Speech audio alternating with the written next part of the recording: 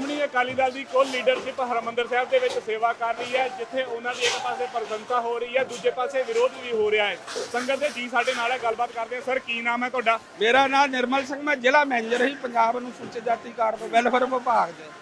ਉੱਥੇ ਇਹ ਮਹਿਕਮਾ ਇਹਦੇ ਕੋਲ ਸੀ। ਕਿਹਦੇ ਕੋਲ? ਗੁਲਜ਼ਾਰ ਸਿੰਘ ਰਣੀ ਕੇ ਕੋ ਇਹਨੇ ਮੈਨੂੰ ਅੰਮ੍ਰਿਤਸਰ ਰਹਿਣ ਵਾਸਤੇ 50000 ਰੁਪਇਆ ਮਹੀਨਾ ਮੰਗਿਆ।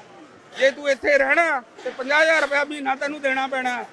ਜੇ ਤੂੰ ਨਹੀਂ ਦਿੰਦਾ ਤਾਂ ਤੂੰ ਆਪਣੀ ਛੁੱਟੀ ਕਰ। ਫਿਰ ਇਹਨੇ ਮੇਰੀ ਬਦਲੀ ਕੀਤੀ ਬਾਣਸਾ ਬਠਿੰਡੇ ਤੋਂ ਥੱਲੇ ਬਿਨਾਂ ਕੋਈ ਕਾਰਨ ਜਦੋਂ ਕਿ ਮੈਂ ਵਸੂਲੀ ਹਰ ਕੰਮ ਮੇਰਾ ਇੱਕ ਨੰਬਰ 1 ਤੇ।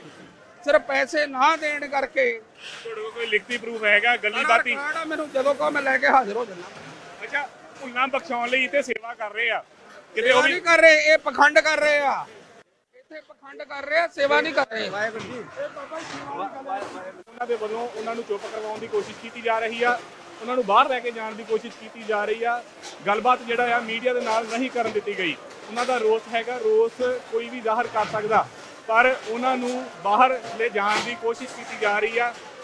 ਜਿਹੜੇ ਲੈ ਕੇ ਜਾ ਰਹੇ ਨੇ, ਹਾਲਾਂਕਿ ਅਸੀਂ ਦਾਵਾ ਨਹੀਂ ਕਰਦੇ ਕਿ ਉਹ ਸ਼੍ਰੋਮਣੀ ਕਮੇਟੀ ਦੇ ਮੈਂਬਰ ਨੇ, ਉਹ ਸ਼੍ਰੋਮਣੀ ਅਕਾਲੀ ਦਲ ਦੇ ਨੇ, ਪਰ ਉਹਨਾਂ ਨੂੰ ਲੈ ਕੇ ਜਾ ਰਹੇ ਨੇ ਬਾਹਰ। ਮੀਡੀਆ ਤੋਂ ਦੂਰੀਆਂ ਬਣਾਉਣ ਲਈ ਕਹਿ ਰਹੇ ਨੇ। ਵਿਰੋਧ ਜਿਹੜਾ ਹੈਗਾ, ਉਹ ਕੋਈ ਵੀ ਕਰ ਸਕਦਾ, ਪਰ ਉਹਨਾਂ ਨੂੰ ਮੀਡੀਆ ਤੋਂ ਦੂਰ ਰੱਖਣ ਦੀ ਕੋਸ਼ਿਸ਼ ਕੀਤੀ ਜਾ ਰਹੀ ਆ।